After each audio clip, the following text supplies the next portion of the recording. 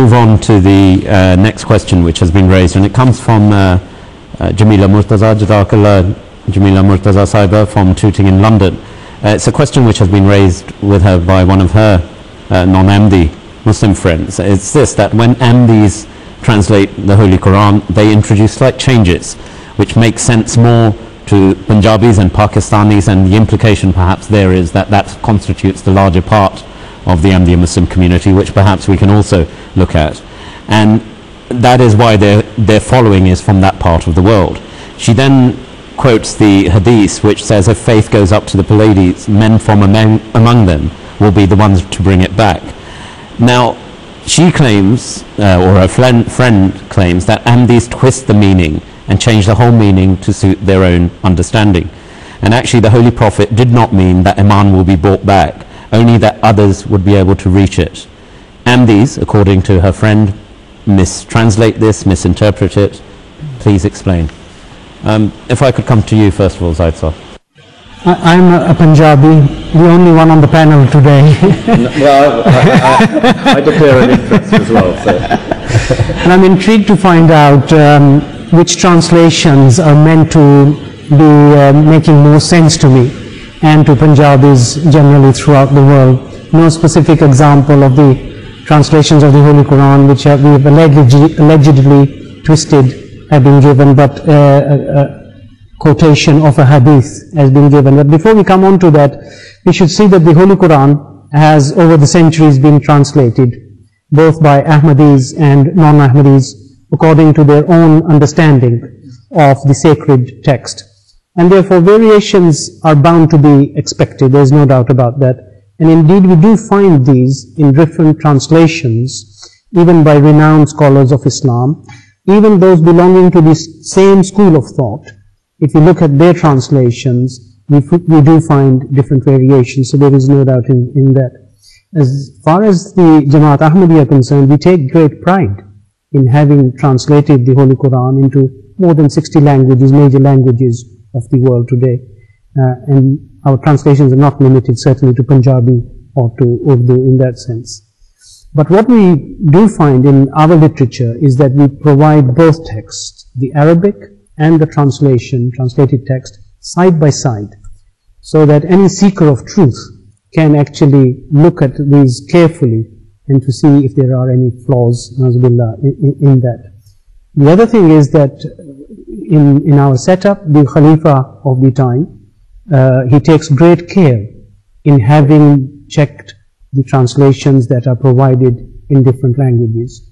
And uh, different experts are involved in this, linguistic experts throughout the world, who will check, recheck, and recheck until the Khalifa is uh, sure and certain that everything has been looked into and this is the most truthful translation that can be provided. So it's a very painstaking task and can obviously take years before the Khalifa will finally decide that this translation can now be published. It, our translations are cross-referenced. We take into account hadiths and comment, commentaries of the Holy Quran of early scholars from different parts of the world.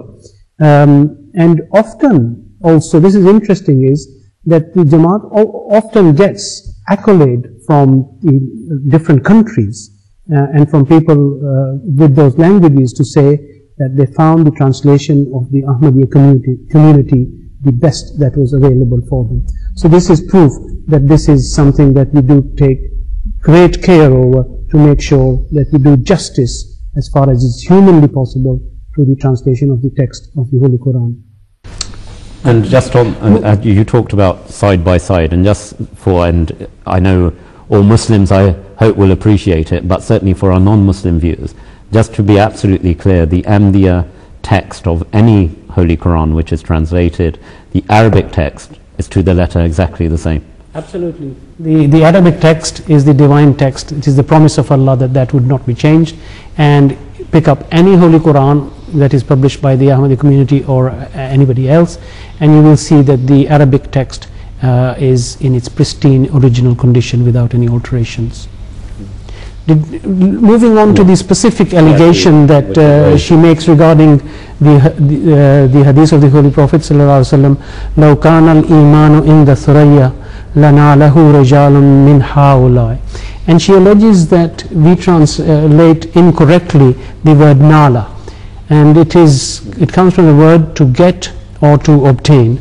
So a person or more than one would obtain it.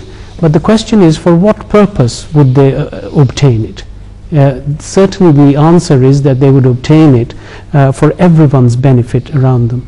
So they would reach up to these Pleiades to bring back the faith that has gone up there for the benefit of mankind and for the benefit of man. Otherwise, if, if we look at her, her translation and her meaning of it, then the question would, it, would it be only that the Persians would be able to uh, reach it and it would not benefit anybody else apart from what she is alleging as uh, those, those persons. So th I think that that is part of the question is that we do not twist the matter in that respect.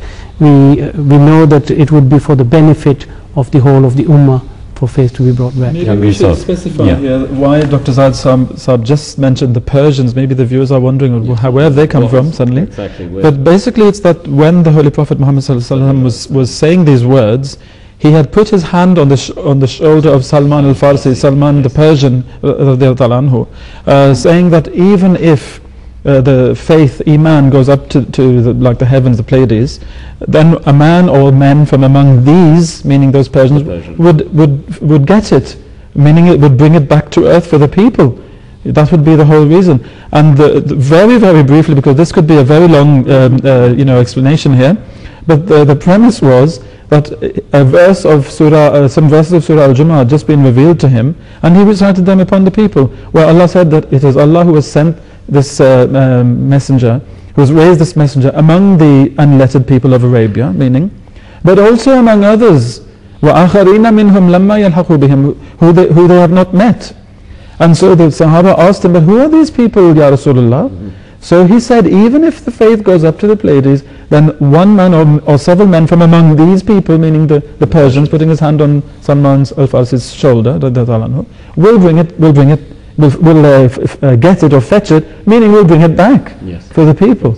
Otherwise, what's the point? Like Dr. Saad uh, rightly pointed out. And that was making specific reference Yes. to the, the message being more otherwise, universal. As Yes, well. it's, Yes. It's, it is, must be universal. It can't be just uh, Persian specific because it, otherwise that would mean that when the Iman goes up there, only the Persians, some people from among them will get it and all the others will be others would be deprived.